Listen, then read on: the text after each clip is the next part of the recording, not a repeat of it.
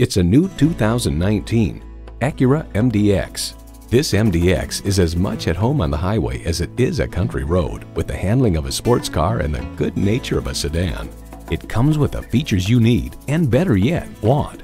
Streaming audio, power heated mirrors, front heated leather bucket seats, front and rear parking sensors, doors and push button start proximity key, dual zone climate control, V6 engine, power sliding and tilting sunroof, gas pressurized shocks, and automatic transmission.